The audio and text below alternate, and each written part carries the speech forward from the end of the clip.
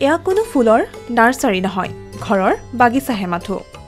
যিখন বাগিচা দুগৰাকী ভগ্নীৰ পৰিশ্ৰমৰ সুবাসেৰে সুবাসিত হৈ আছে এয়া তেওঁলোকৰ কঠোৰ পৰিশ্ৰমৰ ফল वेस्टेज मटेरियल का यूज किया है और इसमें कुछ कुछ यूनिक फ्लावर भी लगाए हैं जिसमें एक ही उड़हुल में एक ही उड़हुल के प्लांट में तीन तरह के फूल खिलते हैं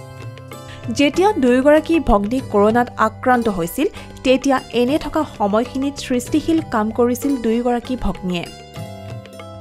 मैं रांची में रहती थी तो जब मैं घर आई तो देखी कि मैं बहुत सारे डब्बे वगैरह पड़े हुए हैं टीने वगैरह पड़े हुए हैं तो मेरे दिमाग में आया कि ये इसे मतलब ना ये कोविड का दौर भी चल रहा था सोचे अब ना इसे मैं बेच सकती हूँ ना कुछ अभी कर सकती हूँ कोविड में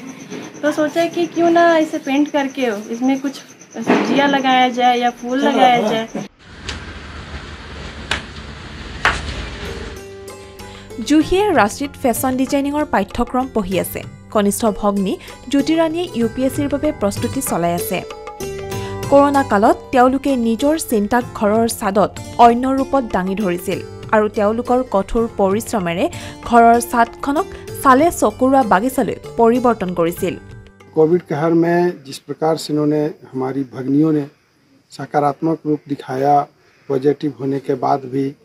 अपने घर में जो वेस्टेज सामान थे, जो डब्बे थे, टीन के डब्बे हैं,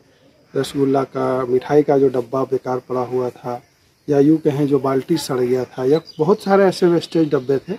और गर्व करते हैं अपना बहुत प्राउड फील करते हैं अपने बेटियों पर कि हर जितने भी चीज़ बेकार पड़े रहते हैं उसको कटिंग करके पेंट करके यूजफुल बना देती है मेरी बेटी लोग অসুস্থ ছোৱালী দুজনীক লৈ মাতৃ অনুপম মেহতা নিশ্চিতভাৱে চিন্তিত আছিল কিন্তু তেওঁলোকৰ আগ্ৰহ দেখি তেওঁ দুয়োকে সমৰ্থন আগবঢ়াইছিল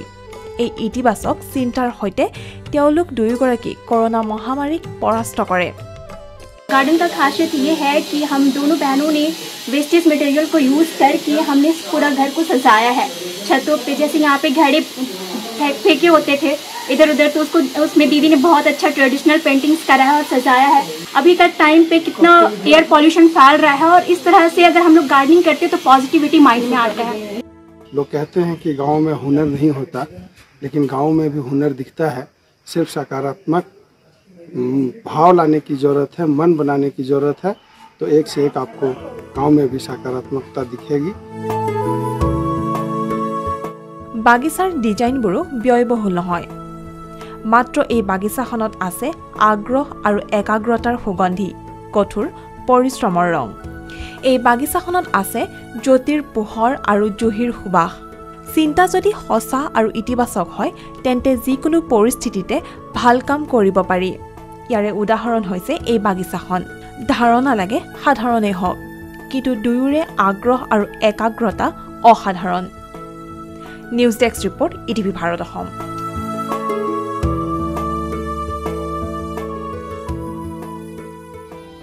এনেধৰণৰ অধিক ভিডিঅ'ৰ বাবে ডাউনলোড কৰক ই টিভি ভাৰত।